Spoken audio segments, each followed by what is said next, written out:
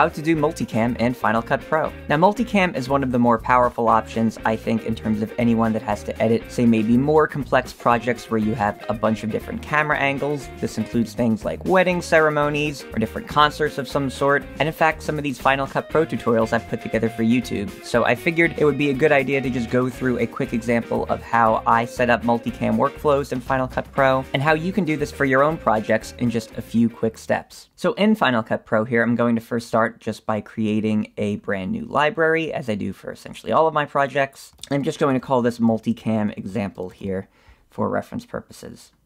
Now when I make the library, you'll see it creates an event as well, which by default is just the date that I created the library, which I think is fine for this purpose. And we're going to create a new project as well, which I'll just also name multicam example here.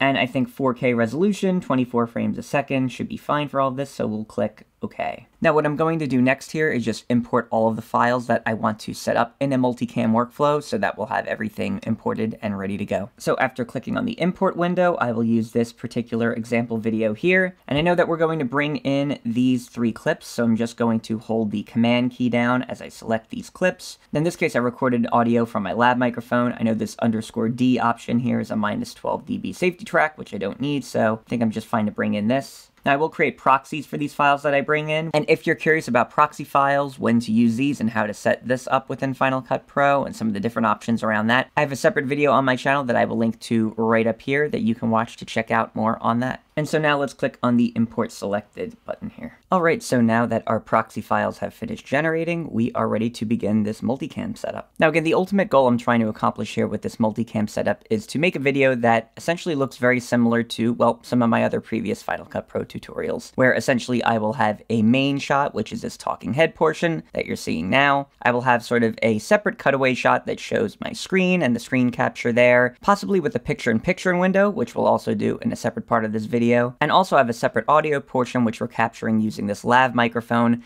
that will itself be part of the multicam setup. Now just to run through the actual clips themselves, we have again just the audio track itself that I mentioned that came from my lav microphone. We have essentially two clips that show the talking head portion of the video, which I think should be interesting in terms of demonstrating how multicam works and can sync up all of these angles even when there are gaps in audio and or video. And then we have the actual screen capture portion of the video itself. So the first thing I'm going to do here is actually get my different camera angles set up so that the multicam, once we do it, will work as we expect. And so what we're going to do first here is basically give each of the different cameras and technically angles that we're going to use for the multicam a dedicated camera angle and camera name. We'll use numbers in this case to assign the angles because this is what's going to allow us to quickly cut our footage using the multicam setup and just using the different number keys on our keyboard. So for this first clip here, which is C02, we're going to go over to the info inspector here, as you can see, and we're going to basically say for camera angle, this is camera angle 1, and for camera name, this is camera name 1. Now once we've set this up, we're going to want to do the same thing to the other talking head video, because again, though it's a different clip, it's going to be part of the same camera angle. So again, camera angle 1, camera name 1. Now what we're going to do for our screen recording, which we will call camera angle 2, is, well, a very similar process here. So for this, we're going to do camera angle 2 and camera name 2. Now we're going to make the audio file its own camera angle, even though we won't necessarily switch to it, but this will still be helpful in terms of setting up the multicam and having different tracks that we can use to assign the audio. So again, very similarly, for the audio track, we will set that and then go over to camera angle and set that to number 3 here, and camera name to number 3.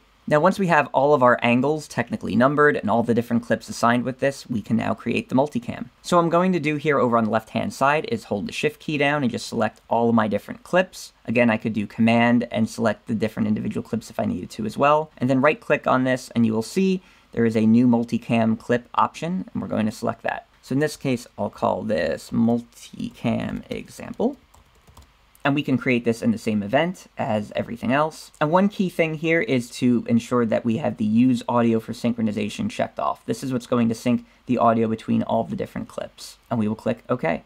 And now as you can see, Final Cut Pro is going through the process of synchronizing all of the different camera angles. And so we'll let that complete.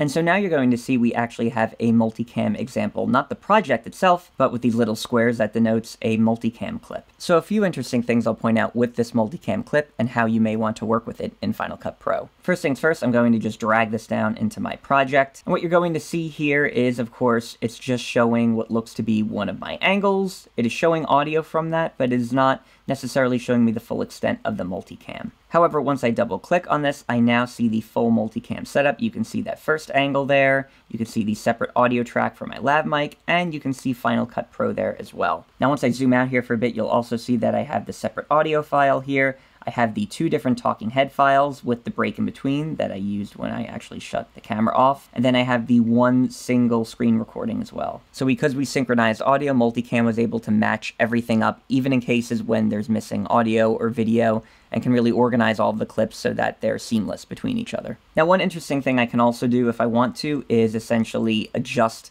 certain elements of the clip just at this multicam level so that once I start cutting it up in the project, all of the things will still apply globally to that clip. For example here, I can take this and if I wanted to, for whatever reason, decide to crop in and use a slightly different framing for this shot, I could do that. So we're just going to demonstrate that here. And we'll say this is an adequate crop. And you'll notice with the first clip, it's a little bit more punched in compared to, say, the second one. Of course, I can also just Command C and then do a Command Shift V to copy that specific crop onto the other talking head clip. Paste that in, and now you'll see the crop on both of these clips are identical to one another. And again, when I go back out to the main project, we have the crop respected there as well. Now to better see the multicam setup that we just created, what you'll want to do is actually just do Command Shift 7. And this is going to bring up the multicam window that will allow us to see all of our different camera angles. Now, of course, one thing you can do is switch the different number of angles that it shows. Because we only have three really going here at this point, I think the 4 or two by two grid view is a good option. And you'll notice as I start to browse along here that we see the different angles pretty much that show the different parts of the project as I'm going through it. Now, the powerful part of multicam here is the fact that basically from this point on, because we've numbered all of our camera angles and Final Cut Pro synchronize everything, what I can now do is start to play this back, and just by tapping the different number keys on my keyboard, I can start to cut this multicam sequence up. So right now we're on camera angle 1, but say I want to cut over to camera angle 2. Well, I hit the 2 key, and now I am back in my editor and we're looking at camera angle 2. Of course, if I want to, I can then flip back to, say, camera angle 1 and cut that as well.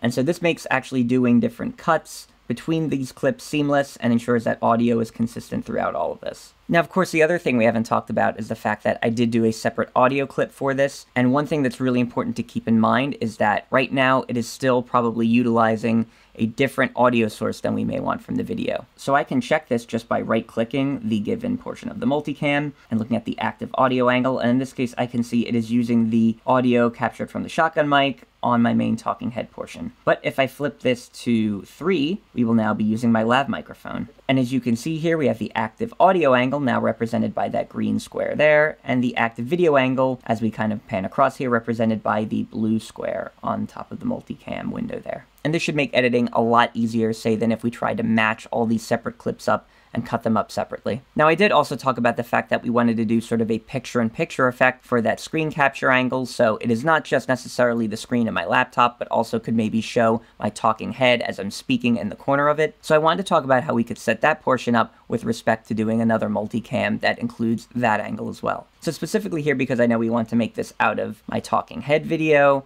we want to make this out of the screen capture portion, and we want to make this again out of our audio source, what I'm going to do is, again, select all of these clips here, but instead of making a multicam clip, I will right-click on them, and I'm going to say to synchronize clips here. In this case, we'll call this synced clip, just for this purpose. And what you're going to notice here, again, much as it was important in the multicam case, is we're going to use audio for synchronization. And just like with the multicam setup, although we won't have the ability to necessarily switch between things, we will still have all of the different clips synced up with each other, and this will make it easier when we try to make that picture-in-picture -picture effect. And so let's hit OK.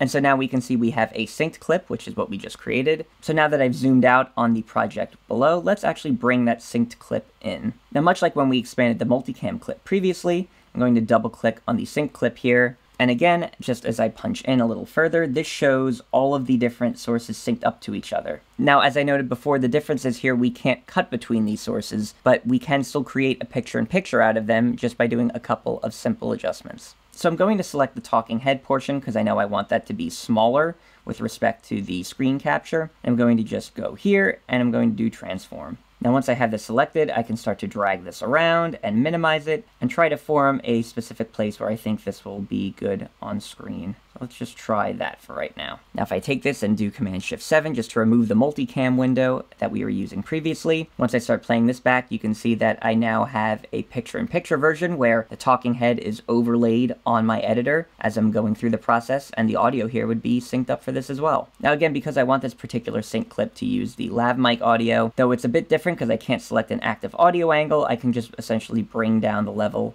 of the audio here and just leave it present on the lav mic source, which is this separate audio track down here. Now again, because I did apply the transform to the first portion of the talking head, I would need to apply to the second. So again, I can utilize Command C, and then on the second clip, we want to copy that different transform to Command Shift V. And I will deselect the volume option here, but I will copy the position and scale over. And now as you can see with the second portion of the talking head video, we have this now synced up in a picture-in-picture -picture view as well. Now there's a couple of additional steps here we'll want to do if we want to make this part of a multicam sequence. Because right now we've adjusted the sync clip to where it behaves as though we want, but we still can't cut to it with that previous multicam that we made. So now that I've gone back to the project and I've gotten out of the more granular look into the sync clip, I'm going to just place my cursor over the sync clip, right click, and we'll do a new compound clip. And so we will call this PIP example, just to show the picture-in-picture -picture angle that we want. So now we have a truly specific picture-in-picture -picture angle that we can use to create another multicam with. So really bringing this clip into another multicam setup is going to be a lot like what we did before. Now in this case, I still want to preserve the talking head as angle 1, I want to preserve that original angle, which is just the screen capture, as angle 2, but I want to actually make this picture-in-picture -picture version angle 3, and then change audio to become angle 4. So we'll make a couple of adjustments to facilitate that. So I'm going to select picture-in-picture -picture example here, and again, for camera angle, we're going to say this is going to be camera angle 3. And specifically, camera name, we will call 3 as well. And now we're going to go back to our audio clip, and we're going to actually change this slightly so that it is camera angle 4 and camera name 4. So now let's recreate the multicam clip and see what we get. Again, I'm going to hold down the command key and just select all my different clips here that I want to include within the multicam. We will right click on that and we will do a new multicam clip. I will call this one multicam PIP. And then again, we will ensure that we use audio for synchronization. And we'll let Final Cut Pro go through the process of synchronizing all of the different camera angles. And so now you'll see we have an actual multicam PIP option. So we have our original multicam we created, which was multicam example. We have that synchronized clip, which is the picture-in-picture -picture example, which we use to create a separate picture-in-picture -picture angle. And then the multicam picture-in-picture -picture multicam setup that combines all of these. So I'm actually just going to clear out the entirety of what's in my project right now and remove that, and we're going to drag down this new multicam picture and picture setup. What I will do in this case is again do Command Shift 7 to bring back the multicam window, and what you're going to now see as I go across these is the fact that, well, we have camera angle 1, which is the main talking head, we have camera angle 2, which is just my editor and the screen capture of that. And then we have camera angle 3 as I cut to this, which is the editor matched up with my talking head portion. And again, much like before, this shows us our current audio angle is angle 1. We have our current video angle, which is angle 3, and if I wanted to, again, I could just select this and choose by right clicking an active audio angle, which could be any one of these clips, and of course continue changing our active video angle as we make cuts and go along the timeline here. So really that is a run through on how to do multicam and set up also a little picture-in-picture -picture workflow within that multicam setup. Now hopefully this video has been of some help to you. Feel free to leave a like and subscribe if it has. I'm definitely planning on doing more Final Cut Pro tutorials in the future, and feel free to check out those that I've already made that are currently on my channel. That is all I have to say. So thanks for watching.